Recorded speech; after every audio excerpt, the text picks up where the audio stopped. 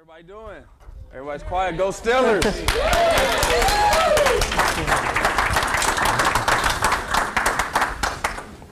Well done, Will. All right.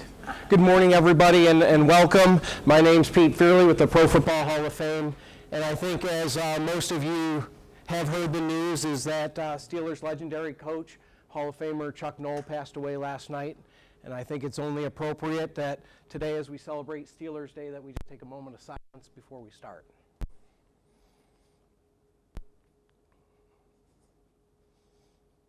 All right, thank you.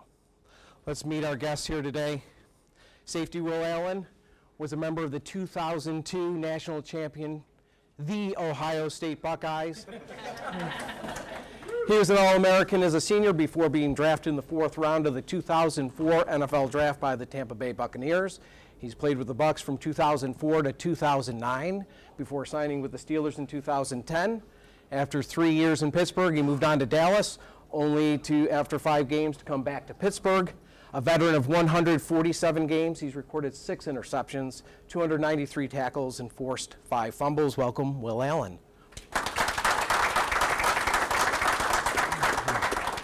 Kicker Shaun Suisham played at Bowling Green State University, where he became the Falcons' all-time leading scorer. Shaun joined the NFL originally as a free agent in 2005 with Pittsburgh. He's seen action with the Dallas Cowboys, the Washington Redskins, and for the past four seasons, the Pittsburgh Steelers. In all, Shaun has played 112 games over nine NFL seasons. He's connected on 182 field goals, 229 extra points. Welcome, Shaun Suisham. So, guys, the, the, we're celebrating the Pittsburgh Steelers. They are, without a doubt, one of the most storied franchises in the history of the National Football League. How much are you aware of that history, being a member of the team today? Um, I'm very aware of it. You know, uh, as soon as you walk in um, to the facility, it's a very historic place. You know, you see all the trophies.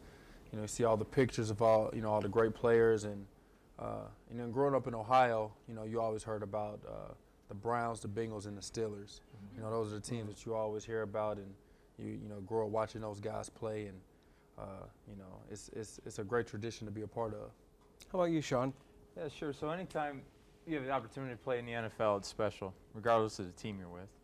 Um, when you walk into a place like Pittsburgh that does have the rich history, um, it's a special place. It's a, it's a place where you can come in prepared to win a football game. You don't have to worry about a lot of the other stuff that comes along with some of the other organizations that we may or may not have been a part of. Uh, but it's uh, but it's special. It's a uh, really really good place to be. I'm real happy. Yeah. Now, you guys may or may not be aware of it, but you represent two of the very important ideals of what the Hall of Fame is. And our mission, two important parts of our mission statement, are to honor the heroes of the game and to celebrate excellence everywhere. And I want to put a little into perspective is since the NFL was founded here in Canton in 1920, there's been only 24,000 men who have made a regular season roster. Hmm. Put it into today's terms, of all the high school seniors playing football, only 0.2%, that's 0.2 of 1%, make it to the NFL. Mm. At what point did you guys realize that your dream of making it to the NFL might become a reality? How old were you when you thought, hey, this could happen? For me, it was, it was much different. I grew up in Canada. Um, I didn't grow up watching the game of football we have the CFL. I grew up, I, I, played in Canada in high school. We'd play Friday afternoons. Um, no fanfare. It was just for, for the love of the game. Came to school in the U.S., had no idea what I was getting into, and really didn't follow the NFL until I was actually playing in it. So in the past nine, ten years, I've learned so much. When I first started playing football, when I was with the Cowboys I, I didn't know the difference between the AFC and the NFC. I, I, I, I, didn't know the significance of really anything. Uh, I would go to functions and meet Hall of Famers. I had no idea who they were. Um, you know, so in the, it was embarrassing. so in the past 10 years, um, certainly from my experience playing in this game and being involved, um, I've come to really love and respect this game much more than just actually playing it, uh, but for the history of it. It's, uh, it's very special to be a part of it. Well, you probably had a little different story growing up out in, in Dayton. Were you, first of all, were you Steelers, Bengals, Browns fan as a kid? Unfortunately, I was a Bengals fan. I grew up uh, watching Boomer Esiason, Ickey Woods, uh, Carl Pickens, and you know all those guys down there, you know, in, in Who Dey country. You know, I was I was sold, and uh, but now I turned over a new leaf. but but you know, uh, my story is much different from um, from Shaun's. Like, I guess I thought about the NFL um, kind of. It's always was always in the back of my brain. You know, it was always a, a like always a plan C for me. You know, you grow up enjoying the NFL, enjoying watching. But I, honestly, I thought the NFL was a little boring back then. Mm-hmm. You know, but I, you know, you knew the history of it. You knew all the great players. You know, I love watching Barry Sanders play, uh, Deion Sanders, and uh, all those great players like that, and Bo Jackson. Um, those are players I looked up to. But my whole goal was to go to college. You know, get a scholarship to play football and get my education paid for. And that was just my mindset all, all growing up. I knew growing up that's what I wanted to do. And then once I got to college and I started, things started materializing and coming to fruition, I was like, I got a real shot at this. I got a legitimate shot of playing in the NFL. And I really didn't know what it meant either. Like Shaun said, when you first enter the league, you don't know what it means uh, to be a part of that small percentage or that highest percentage. And I and I, I didn't. I was so naive. I'm just like, well, I'm here. What do I do? And then mm-hmm. probably year five or six, that's when I started realizing um, just the, the high quality of professionalism and uh, the men that are selected to play and those that stick that long. You know, I kind of just going along each year but now it means so much more to me. You know, I'm going into year 11. Shaun's going to year 10, and you know, we, we really understand and um, and relish the moments that we've had, and uh, and, and so many before us that they that they fought and uh, you know and um, set the tradition before us. Can you take us back to the first time you stepped onto an NFL field as a pro player? Do you remember the moment?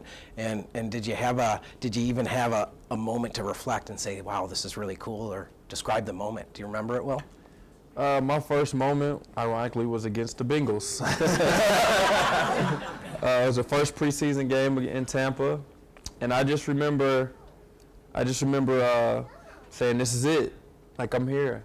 Like this is it." You know, and I'm I'm watching Derrick Brooks, who's a Hall of Famer now, and you know he played with Warren Sapp, who's a Hall of Famer, and uh, I got Rondé Barber, who's going to be a potential Hall of Famer, and I got all these guys around me who are going to be potential Hall of Famers. I'm just sitting here like you know, what's going on? Like, you know, and, you know, and, and, the thing is, the, the, crazy thing is, I'm, I'm just trying to figure it out. And Mike Tomlin is my secondary coach wow. at the time, so it's like full circle, you know. Mm-hmm. So, um, you know, he's trying to groom me to be this player, and I don't even know what's going on.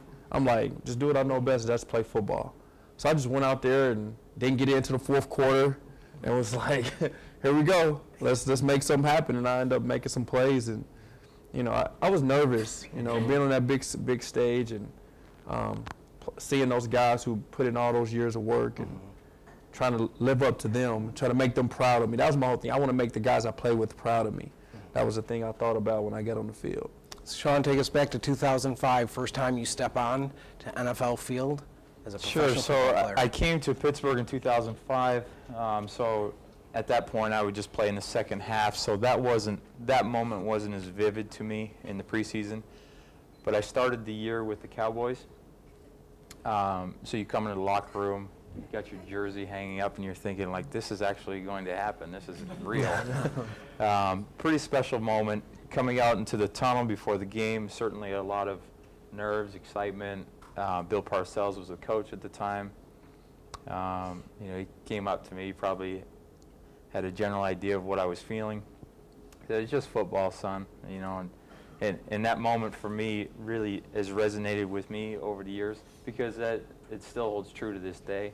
Um, that was uh, Tony Romo was my holder, um, and she's like I go on the field maybe 10 times in a game. So as a young kid, as a kicker, um, it's a very it, now it is the norm, but at the time it's um, it's very challenging to be able to control your nerves when you're only on the field maybe 10 plays in a total game. Um, that's something where the older I've gotten, the easier the game has become mentally. And now with Will and I on the, I hate to say the back end of our career, but uh, just marrying, you know, the, the mental capability we have now with keeping our body healthy, um, as long as we can do that, you know, it's, uh, it's a lot of fun right now. Will, you had a multi-pick game in your second season, and the two picks in the fourth quarter of Brett Favre. Where does that rank among all your all-time highlights? Uh, it's a special one. Um, but you know, it, you said all-time highlights. My favorite highlight would be interception against Michigan to go to the national championship game. Mm-hmm. You know, that, that's that, that's You're just playing to the crowd now, aren't you? you know, so that's that's the one I really. Uh-huh. But in the NFL, that's probably the highlight. You know, mm-hmm. picking off Brett Favre, Hall of Famer. You know, it's um, you can't get you can't get any better than that to win the game, help your team win, and you know, again, I mean, I'm just gonna be honest. I really don't understand how big that moment was. A lot of people talk about it still to this day. I remember you getting those two interceptions, get Brett Favre. Like, I was like 23 years old or something, and 22, and I'm just like, it's just football, like you know. But it's a big moment, you know. And but now it's, it, it was exciting. It really was. It really was exciting, and uh, you know, again, I can tell my kids about that. I still got the footballs, and I can show them and relive that moment, you know, 20 years from now. So, Sean, being a kicker in the NFL can be have, have its ups and downs. You've had uh, bounced around a little bit with the league. You've been you've been with the Steelers now for four years, going into your fifth season. How difficult is it to kick in Heinz Field? Uh, it certainly presents some challenges, um, not unlike what it would be like in, in Green Bay, Chicago, um, Cleveland. And it's, uh, I've learned to embrace it. Uh, it's fun watching guys come in from, from domes or southern places. and they come in and we're out in pregame and the ball will barely stay up in your, your holder and it's freezing cold. And um, it's, I've learned just to, to relish it and, uh, and, and just roll with it because it certainly does make make my job much more difficult. Now, I'd be remiss if I didn't ask you, some of the conversation of this offseason has focused on the elimination or changing the rules on the extra point. What is your thought on the extra point in the NFL? Well, as long as they keep one thing for me to do and I keep a job, that, that would be ideal. Um, but in, in regards to changing the extra point, um, you know, obviously change sometime is sometimes is difficult and it's uncomfortable. Especially for me, it would make my job more difficult. Um, my proposal would be to keep the integrity of the, the game the same, would be to, say you score on the right side of the field, outside, say, uh, a high school hash. You kick, you snap the ball from, say, a high school hash, increase your angle, which makes the kick more difficult, it narrows the, the uprights, uh, but still gives the team the option to, to go for two. What's your thought as a I think, I think I think that makes sense, and you know he's a professional. He's been doing it his whole life. Uh, you know, I don't know nothing about kicking. You know, so I mean, but you know, it is the angles are difficult. You know, what he's saying will make it harder um, and more challenging, and and and people don't understand that extra point is is a huge momentum swing in the game. You know, people you don't understand like the the differential in points throughout the years and through crucial moments in the game, how that's how important that is. Um, just that one point. So I think to make to increase the difficulty of the kick, as Shaun was as Shaun was saying, would be a great implementation of the of the uh, extra point. I, back to that, you know, backing backing the kick up. I think the the potential issue there is that the threat of a fake is virtually gone, um, which allows guys to come off off the edges, and it, it changes the structure of the play. Um, for that reason, I, th- I think that's a little bit difficult. I mean, it, it- it's a, Tricky. I think it's an element of the game that that that needs to stay. You know, it's a it's a tradition. It's it's a part of the history. It's a reason why the rule was implemented in the beginning. Why you only allow six points for a touchdown. Um, extra point gives you seven. It's a, some math behind it, some science behind it. And I think uh, it's a good rule. At at this point, guys are so skilled at every position on the field. Um, so an extra point, there's a lot of moving parts there that a lot of a lot of people don't understand the complexity of that play. 1.25 seconds is the total length of the play. Guys like Will coming off the edge, guys through the gap. If if one guy is a little bit off in his technique, or the kicker mishits the ball, um, it will be blocked. It's just a guys are doing a really, really good job of it right now of a, of a really a complicated skill, and they're just making it look easy. Now, you've both been to the Hall of Fame. You played in the Hall of Fame game last year. You played a, a few years ago with the Redskins. And uh, as an active player, what does it mean to you when you walk into the Pro Football Hall of Fame? Well, to me, you know, everybody thinks like football's like uh, made in the South, you know, and I'm from Ohio, so to have the Hall of Fame in Ohio, uh, and to come be able to, you know, take a drive up from you know Columbus or Dayton and see the history of football, where it all began, where it all started, you know, know just guys playing on club teams, you know, making money here and there, and it developed into what it is today. Is it's amazing, you know, it really is, and to see all the great players that has uh, contributed to this game and the great people. You know, it's, it's a mi millions of people that have contributed to the to the game and the, the, game that we play, and it just trickles down all the way to Pee Wee football. So it's it's exciting. Um, I love history. You know, so to learn more, to get more knowledge, and to see where we where we've come from in a in a sport of football to where we are today is uh is tremendous. How about you, Shaun? Certainly. Um, Pro Football Hall of Fame has done a wonderful job preserving um, the history of this game, and I think um, certainly the popularity of this game is hopefully will continue to grow. I think it's important for us all to to remember where this game came from, um, myself included. So uh, this has been a wonderful experience for me um, in the past when I've been here. Like I said, when I didn't know nearly as much as I should have. Um, just a great way for me to to kind of take, take in the history of this game. A big part of the Hall of Fame's mission is also to promote the values of the game. What one lesson will each of you take from your careers and apply to the rest of your life? Uh, mine would be humility. You know, uh, with great humility, there's you know you have to have a lot of responsibility with it. And we're, you know, and um, you know that's that's one thing I've learned. This this game will humble you. You know, you could be on top of the world one week and the next week give up the great, the, the big touchdown to win the game, and you know you can be hurt the next week and for a whole year, and then come back and have a you know, you know Pro Bowl year. You know, all these different all these different levels of adversity that you will face through football. Learn how to manage that. Learn how to be a good teammate.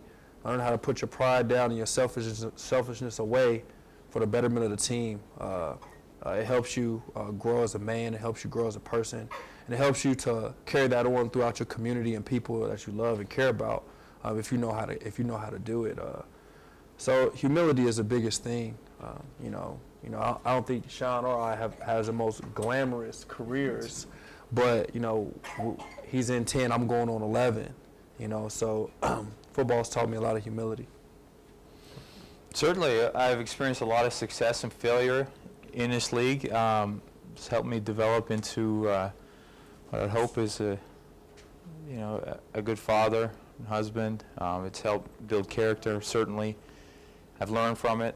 Um,